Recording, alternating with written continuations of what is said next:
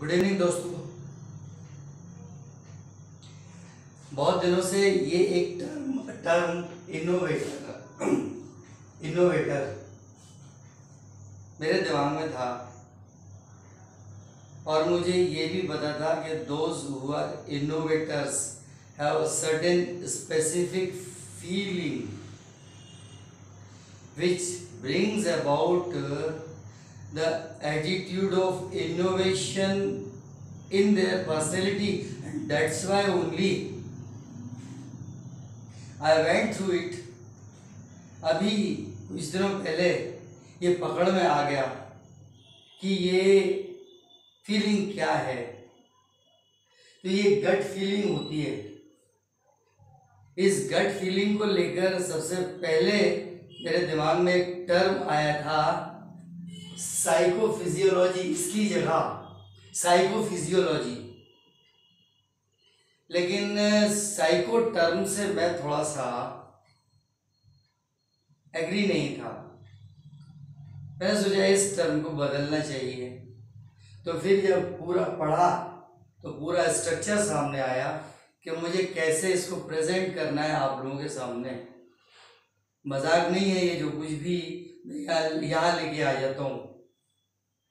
तो इसको फिर सीरियसली ही लिया। बहुत सीरियसली लिए सभी सीरियसली लिए हैं।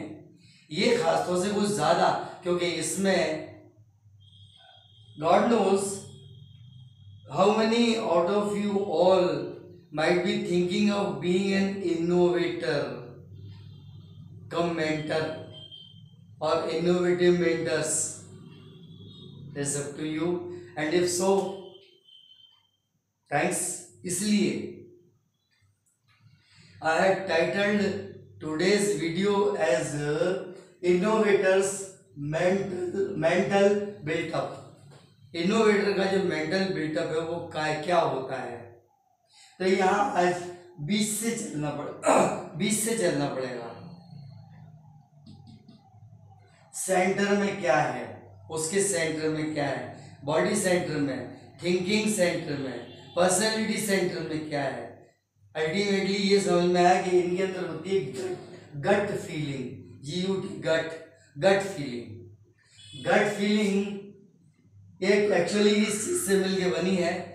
Lets gut feeling lets him believe in some और अदर फैक्टर कोई एक फैक्टर या कोई दूसरा तीसरा फैक्टर वो फैक्टर इनमें से कोई भी हो सकता है नेमली डेस्टिनी लाइफ कर्म। इनमें से कोई भी हो सकता है। लेकिन एक गट फीलिंग इनमें से किसी का रिज़ल्ट होती है। And what that result does वो रिज़ल्ट क्या करता है?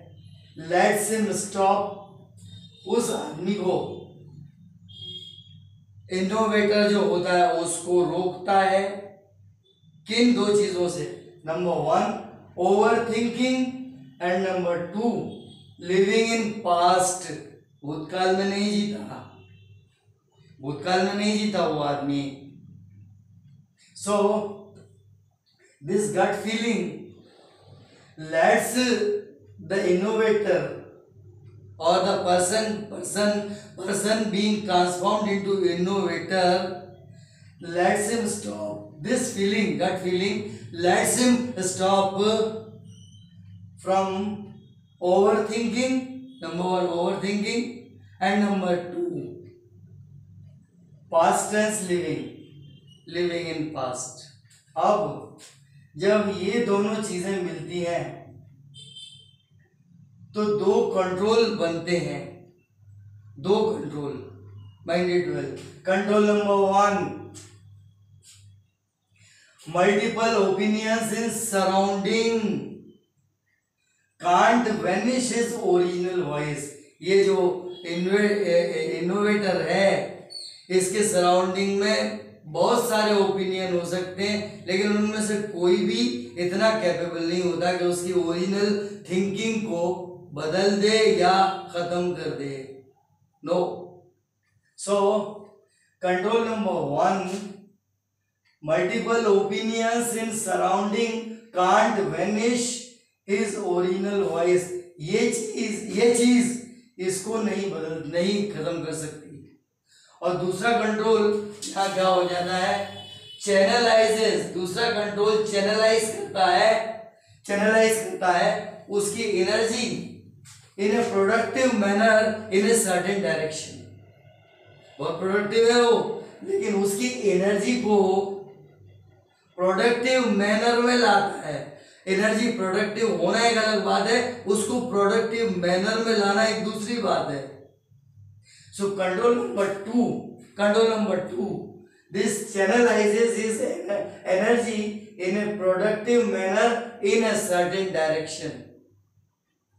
अब जब ये दो काम हो गए तो the resulting the resulting innovator as problem solver problem solver जो होता है innovator reacts reaches reaches reaches at कहा पहुँचता है? The right answer to a question plus actual right question innovator ये जानने की कोशिश करता है। कोई क्वेश्चन पूछेंगे आप, उसका आंसर दे देगा। दूसरा कोई पूछेगा, उसका आंसर दे देगा। लेकिन सर्कमस्टेंसेस में राइट क्वेश्चन क्या है? इसके साथ क्वेश्चन आंसर के साथ राइट क्वेश्चन भी देखेगा कि राइट क्वेश्चन क्या है। तब यहाँ इन दो से जो दो चीज़ें जो प्लस हो रही हैं यहाँ बन रहा है innovator and of course he is a real kind innovator innovator होने के लिए एक चीज़ बहुत ज़रूरी है। ये सब चीज़ें जो गट फीलिंग आपके अंदर आई और आप इन दो चीज़ों से बचे ओवर थिंकिंग और पास्ट लिविंग से। पास्ट टेंस लिविंग से बचे इनोवेटर तो आप वही हो गए। लेकिन एक कैरेक्टरिस्टिक आपका धीरे धीरे कभी कभी कुछ लोगों में बहुत जल्दी भी आ जाता है। लेकिन नहीं तो धीरे धीरे धीरे धीरे ये कैरेक्टरिस्टिक आएगा। Resulting innovator as problem solver reaches at कहाँ पहुँचता है? दो जगहों पे पहुँचता है। Number one right answer to question right answer of a question plus actual right question सही सवाल क्या है? आंसर तो मिल ही जाए जो सवाल रखा है, उसके आंसर तो मिल ही जाना है। लेकिन जो सही क्वेश्चन है, वो क्या है? जो कि आगे ले जाएगा। ज़िंदगी को इनोवेटर को जो क्वेश्चन पूछ रहा है उसको and that's none other than innovator of course